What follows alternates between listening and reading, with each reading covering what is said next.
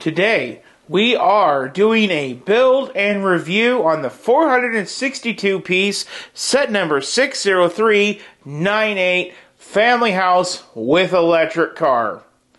But if you watch my store haul videos, then you will know we are actually doing a rebrickable model today. So let's get into it.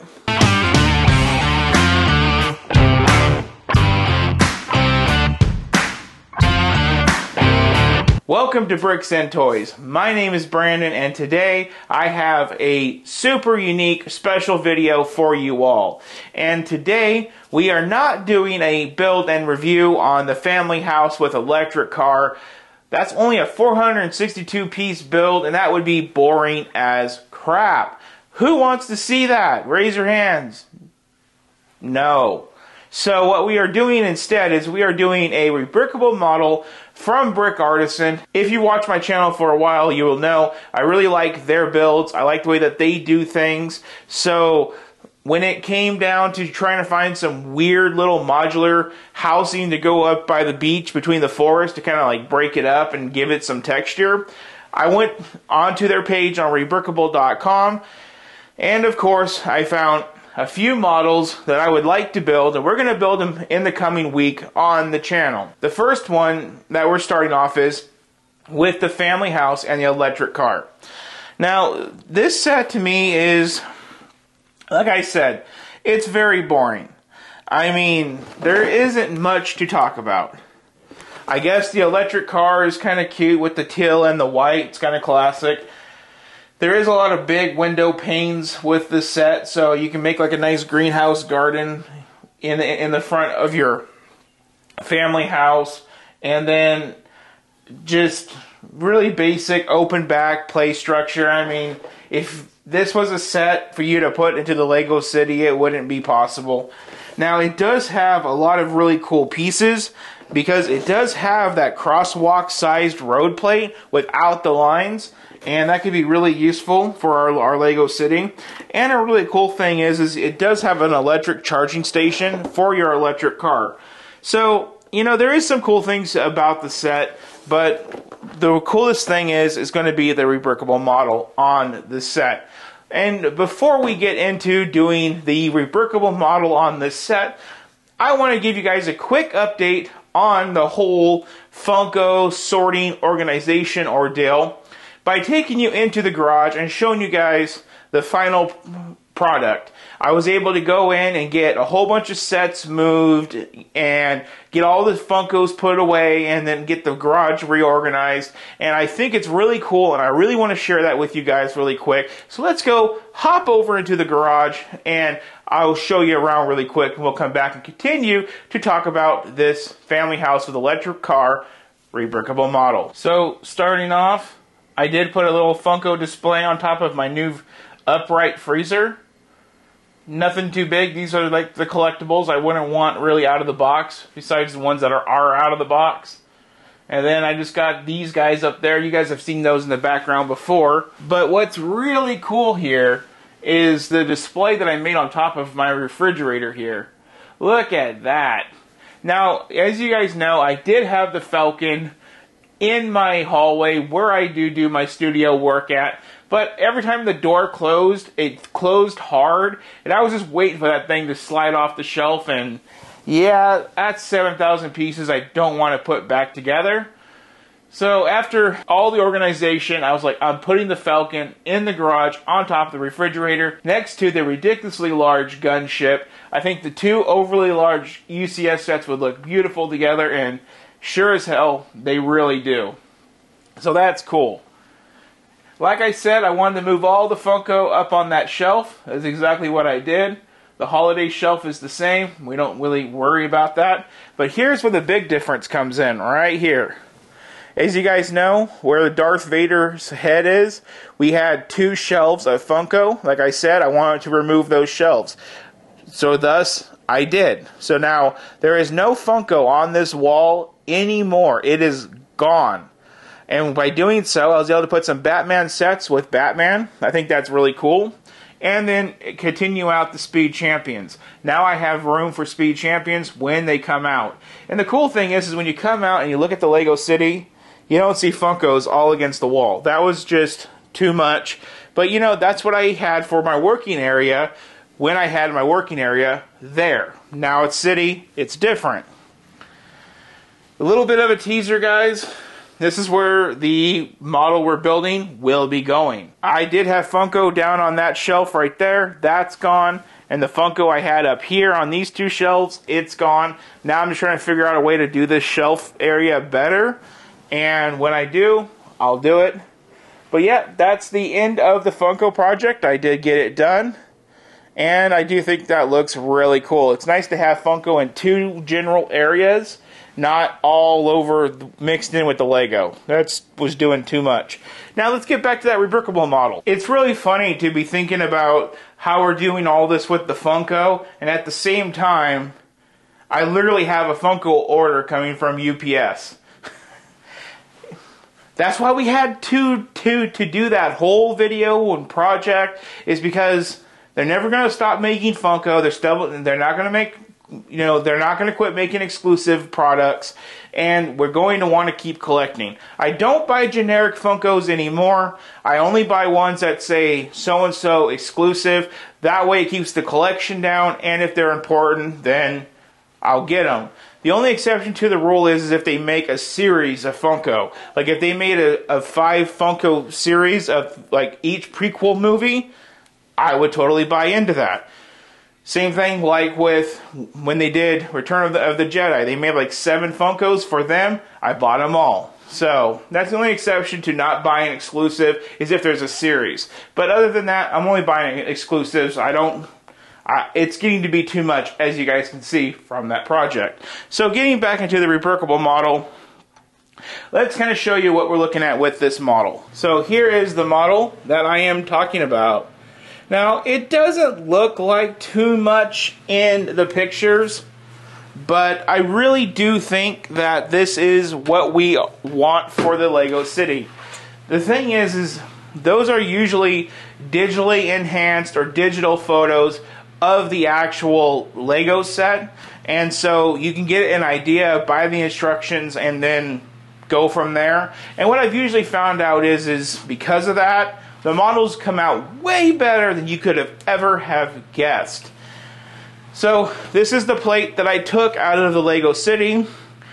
It's your typical 32 by 32 MILS plated 10 by 10 plate. And as you guys can see, we have the beach front, well, we have the forest front with a little tidbit of city. And what we're going to do is we're going to brainstorm throughout the day. This is off camera. And I'm going to see if I want to line up this building, 16 studs in the center and have 8 left over on each side. Or if I want to put it over to one side or the other and have enough room for like a double carport or something. So basically, if I leave 8 studs on each side of the plate, I, I, can do something like I did with the other house, the first one we ever did with the cozy house, and put like a water slide or some type of like fun kid feature in there. So I got to see if I want to do that. I do know for the other one we are doing, I do have a kid feature that is going to be shared between the other house that I currently have from the Cozy House model and the model that we are going to build again from Brick Artisan. So I got to see how I want to do that. I got to think throughout the day, look at the model, and really think about what do I want to do. Because I could easily use those non-crosswalk road plate pieces and make a really cool driveway going by, you know, into the house. So I need to think about this, and you guys will see what I decide when we get to the review portion of this video. Now, with these models, we are just going to do a review portion and a putting it into the Lego City portion. There will be no build portion because there's really nothing to, to, to talk about. And the reason is, is because we have all of our parts sorted. I did that off camera last night. You know, we got bricks. We got odd shaped pieces. We got plates. We got windows and doors. We got one one by blocks. And then over here, I have everything set up with the smaller pieces like household goods right there and plates and all types of oddball stickers. But these are the plates I'm talking about. Make a driveway with these or something. But I would like not to waste these because these are really, you know, kind of hard to find. But I do have extra road plates I can use to kind of give me that driveway sensation if I want to go that route. Because this is this house being a little bit on the modern side, where the other two are going to be kind of more on the Victorian old school side. I want this one to kind of blend in more with the Lego store and the city than I do the forestry Victorian area thing that I'm doing. It's all textures and colors for a Lego city, to be honest with you.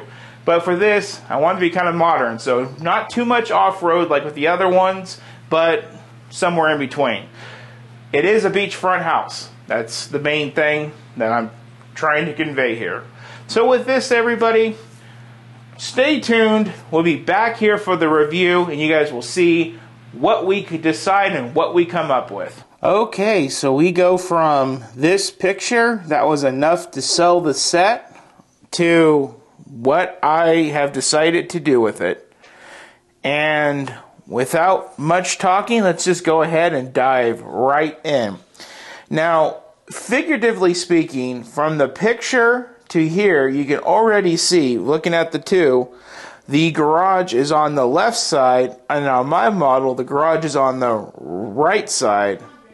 And then you can also see that I also made a full 16 by 16 road plate for the driveway, so you could get two cars in this driveway. Another thing that you'll notice between the original model and my model is I don't have two windows on the side like in the model in the picture and instead I got the other window on this side. And we'll get into that more here in a moment. So this is the model in general, just give you guys a twirl around. You can see how I made uh, the road plate and a half driveway. Well, you'll see why that's as big as it is here in a minute. But then I do have this really lovely soccer battle going on in the backyard. I think that is a really cool detail that came with the set. I did remix the minifigures, so they are all repurposed, even though there is a child with a beard. But you know, all those hormones and chicken these days. Everyone's growing up a bit too fast.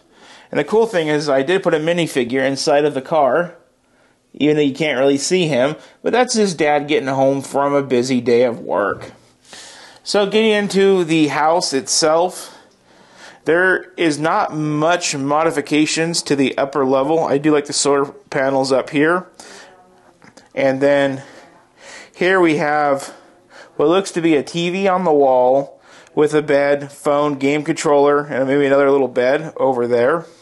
That's pretty original. Now our first modification to the set comes over here. Now on the original model, this would probably be over here and this stuff over over here. But on this model, it's backwards because of the stairs. The stairs was the hardest part to integrate when I flip-flopped the entire set. I might not have done it correctly, but it is what it is.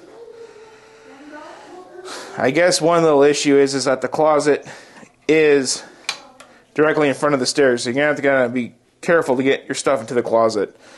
I guess I could always switch this window out with that and fix it that way. I might actually do that. So let's go on to the next level and see what I did there. Now here on the next level is where you're going to see the most amount of change. You can see in this picture we have a bathroom over here, a kitchen, a dining room table, looks to be a sofa, and some stairs. On this model, going in the orientation that it has it, you could see my stairs are flip-flopped with my bathroom. My bathroom is now on this side. My stairs are on that side, but I did keep the kitchen table and couch over on those ends. And that's why I, I took a, a window and put a window here so you have nice lighting for your dining and yet a wall here because you don't need a wall with the stairs. Same thing with the bathroom. If, if I didn't move the windows, you could see everybody in the shower doing their dance. And you don't really want to see that. So I put a solid wall there. So I split up the solid walls for that reason. Other than that, the kitchen looks pretty much the same as it does in the photos. And then coming in over here, you can see the bottom level. And now let's put that in the correct orientation on my plate, and you'll see that it's backwards. There we have the driveway with the family car. And it looks like the downstairs is actually kind of like a greenhouse room. It's really cool. I really like it. I made sure to add all of the greenhouse elements and everything of the original designer. There is an electric car charging station. I think that's pretty dope. And then you come around and we can see more into that nice greenhouse room now that it's lit up. So that is the model. I wanted to make sure the beachfront was beachfront and there was a road between the Lego store and this to kind of make sure I don't block the windows. It does go back together, super simple. The only complaint I would have with the set is these curtains right here, this these archways. They are very easy to bump into and break. So when, you, when you're putting on the floor, if you're not careful, you can easily break them off with that part of the floor. So now let's take a walk out into the garage and let's drop it into the Lego City. And coming on in, take a look. Now I definitely will move that palm tree and turtle and stuff, obviously. But look how good that is looking with these small little buildings. I have one more to put in right in between these two. Video coming soon in the week. But I think that looks really, really, really good. It's coming around here for you guys to see the back. I do need to finish putting off some plates and stuff. I'll do that off camera. But you can see where the cars can roll in right off the street into the driveway. This is the last city-ish building until we get into the more rural stuff. So if this is your Airbnb, you still have pavement access to the city. Anything beyond that? Well, no you don't. So yeah, I think this looks really cool. Now let's uh, wrap up this video. Okay guys, so that wraps it up for the rebrickable model of the family house and electric car. This set is new as a 2023, and to me, the set is pointless. But when you go on to rebrickable.com, you will see that there is plenty of rebrickable models, and it is an excellent part kit when combined with other sets to do what we did. Honestly, what we did was just basic. It can get so much better the more sets or the more bricks you add, all you got to do is go to rebrickable.com and pull up the set by its set number and then go through the alternate builds. You guys would be very surprised what this boring, lamish set can actually turn into. But I liked this model and I'm very happy I did it and I really think it adds an extra little bit of texture to the Lego City. So this is a definite recommend. Each set was $60 a piece. Instructions were around 8 so for $130, I think that's perfect. Finishing out this video, I just want to quickly say I'm not live on Twitch right now for anybody that watches my videos and goes over and watches me on Twitch, I just want to apologize if you've been going on, seeing if I'm on Monday, Wednesdays, and Fridays. I don't do Saturday no more. It's just not worth logging on in the afternoon to build Lego for nobody. It's just, it's not worth it. So I only do Mondays, Wednesdays, and Fridays. But the thing is, is we had a loss in the family, and the loss is very close to me, and it's something that I have to work with and support and be there for my family. So I'm just not in the mind space to be live on Twitch right now. As it is, trying to get these builds done is hard enough. My priorities are with my family, of course.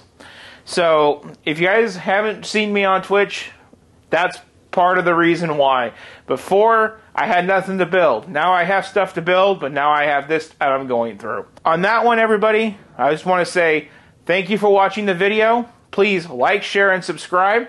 Drop your comments down below on what you think of this rebrickable model and what you and what you think about the changes that I made to make it work for my needs. Drop them comments. Thank you for watching, and you all have a good one.